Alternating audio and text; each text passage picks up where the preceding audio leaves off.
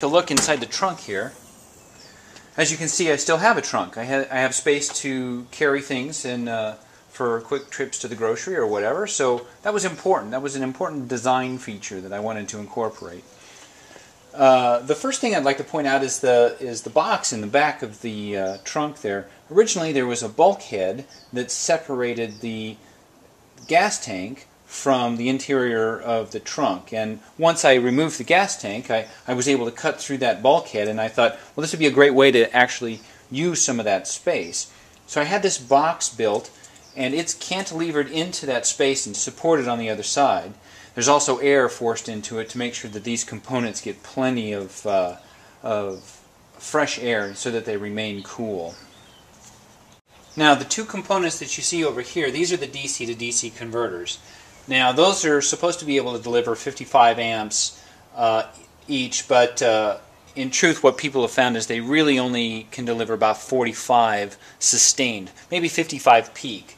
But the problem is, is that the power steering pump can actually draw up to 85 amps on a hard lock, so clearly one of those wasn't going to cut it. So what I did is I got two and I wired them in parallel, so together they, they both put out uh, a combined 90 amps uh, if necessary. So that uh, uh that was important to uh, to the system to make sure that the 12 volt system is uh, is adequately charged.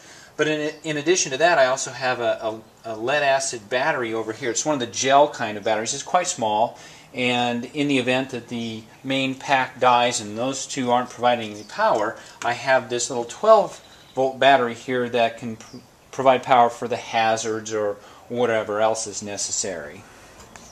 Now the other component in the box is just the charger. Now I decided to mount the charger in the car uh, so that I could charge the car wherever I go. Uh, some people will choose to leave it out of the car so that uh, they save on weight or space, but I elected to have it in there. And uh, this way, wherever I go, I can, I can charge up if I need to. So let's remove the floor of the trunk and I'll show you what's under here. So you see, this is uh, this is actually just a plastic bath bath mat to uh, that I put over the batteries, mostly to protect them from stray tools that might drop on top of them. But uh, it's even ventilated, so it works out quite well. I had to cut the floor of the trunk out in order to uh, fit the batteries in here, and then I built a steel frame that is actually mounted to and bolted to the chassis itself, so it's very sturdy. I did have to give up a couple of things in order to, to do this, and that was there was a tool tray up here that held all the tools for the car, uh, so I had to carry those elsewhere. But then underneath the car, this was actually where the spare tire was kept. Well, so I don't have a spare now. In the event that I get a flat, I'm just going to have to call uh, AAA, which is okay, but uh, a small price to pay. But now I've got uh, space for the uh, for the batteries back here. One of the concerns that people have with these batteries is that they may get out of balance. One battery might accept more charge than another, or or give off more charge than the other, and, and consequently they may they may go out of balance. And the fear is is that that that imbalance can actually lead to the early death of one of the cells. So I'd like to point out I've got these two bus bars here. Now this is a, an idea that I just shamelessly stole from Jack Rickard. He, I saw the video that he'd done on the EV Porsche, and, and he'd done a similar thing, that, which I just thought was a great idea. And I have a uh, ones like this up in the front as well. So what we have is a wire that goes to the first battery in a series of four, and then the corresponding wire on the other side goes to the uh, to the other the end of the other battery. So in this way, I can measure across, just with a multimeter, go across each one, and I have a reading for the voltage across each set of four batteries. And in this way, if there's one battery in those in either of those packs that is high or low, it'll show itself because that particular uh, set will be uh, different than the others. But uh, like Jack, what I found is this has become a tedious process because they're always the same. No matter what, no matter when I measure them, they're always the same which is uh, uh, quite good because it means that uh, the batteries are doing their job and staying balanced. I'm not using a battery management system on these batteries, and uh, I know a lot of people think that's kind of crazy, but uh, so far it's uh, proved unnecessary. Like I mentioned, the batteries are just always in balance. They're always equal. Uh, time will tell, but uh, I believe that the, the best way to um, manage these batteries is rather th than through expensive electronics is just through uh, common sense in how you treat them. So the charger is set to charge the pack to 168 volts. That's 3.5 volts per cell.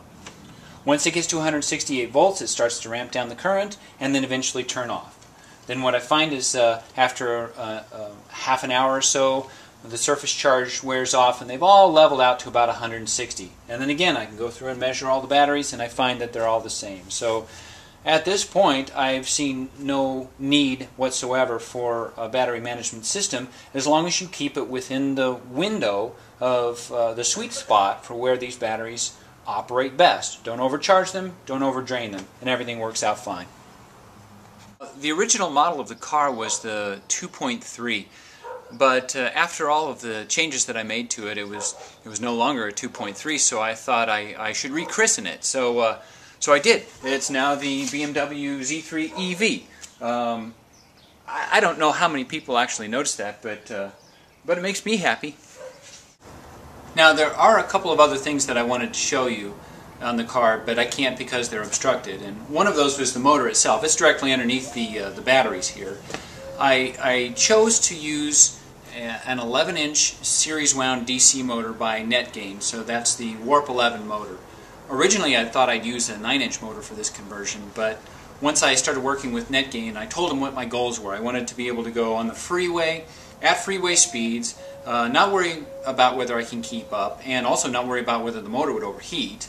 Uh, it became clear that an 11-inch motor was a better choice. So I opted for that. And uh, it's a shame I can't show you to show it to you because it, it, really is a thing of beauty. But the other thing I did was I, I uh, put some aluminum sheets on the bottom of the car uh, under to uh, to cover the tunnel where the driveline goes. And that was uh, for two reasons. One, I wanted to protect all of the wires that traverse the car running front to back. And the other was is uh, I was hoping to, to make the car more streamlined. So now I, I, don't, I don't know if it's more streamlined. I'd, I'd like to think so, but I haven't put it in a wind tunnel, so I can't tell you if it's more aerodynamic. But I'd like to think I didn't waste my time. But in either case, at least those wires are protected, and, uh, that, and that's important. Overall, uh, the conversion took me about one year. There was about five months of downtime waiting for parts. So seven months of real work, and uh, it was very rewarding. I can tell you when I drove it out of the garage, it was one of the most satisfying things I've ever felt. But now that I'm driving it on a daily basis and just using it, it's been trouble-free and I absolutely love it. It's so much fun to drive. I intend to use it for years to come. Now, I, am not an, an, electrical engineer uh, by trade. I just uh, work in the computer industry. And uh, but I think this goes to show you that really, if, if you're willing to read up and, and uh, learn a few things and apply that knowledge, really anybody can do this. And I think anybody can do it to a fairly high standard. Now, this is not the, the uh, highest quality conversion that I've seen, but I think you could see that it's certainly uh, uh, it is a good quality conversion, and, and, and if I can do that, I think that anybody can. So if uh, at some point you feel like you have uh, the, uh, the desire to try this, I would encourage you to do it. It's been a fantastic project. If you have any questions for me, feel free to email me. I'd be happy to answer anything that you can think of. So thanks for joining me, and have a great day. So that was uh, Tim Catalier in Chandler, Arizona. I must say, Tim, uh, uh, fantastic attention to detail on a nice car. Congratulations nice. on a great yeah. Uh, Way to electric go, Tim. car conversion. And um, and thanks for sharing that video with us. This guy's uh, He's in. Yeah, he's in. You're, you're on. You're on the. Uh, you're on the team, That's buddy. He's on the home we'll team. expect something every uh, every uh, Friday by uh, about nine in the morning. It's when, yeah, definitely before four so, o'clock. Meanwhile, I thought I'd introduce you. This is Trace Jessup. He's uh, been with us uh, four or five weeks now. I kept thinking he'd stomp off mad, as most people do that work for me, uh, except for Brian. Of course, it's his fifth time. But um, I wanted to introduce you to Trace. He's the one who uh, got us hooked up with Lucien and mm -hmm. got our yep. end plate done. Yeah, Went out yeah. there and kind of sat on him to Yep. do that. Uh, You live with him for a couple of days. he uh, he sort of beat me up on the uh, thrust bearing, and that's in. And we have spinning wheels, and he has a seventy dollar haircut he just got yesterday. so I wanted you to see this. We're not all old and beat up. Uh, whiskey He will be. Uh, but uh, he, like I say, he's new with this. He'll he'll be kind of bent over and sorrowful here pretty soon too. Um, we like hearing from our viewers. You don't really have to send me more stuff to drink. I make it here in the garage. Although we do have a guy that does a double backflip on a jet ski that's wanting to go electric. Okay. And he sent me a bottle of Lagavulin. I, I can't really. I haven't what got are you it gonna yet, say? But, but I got notice that it's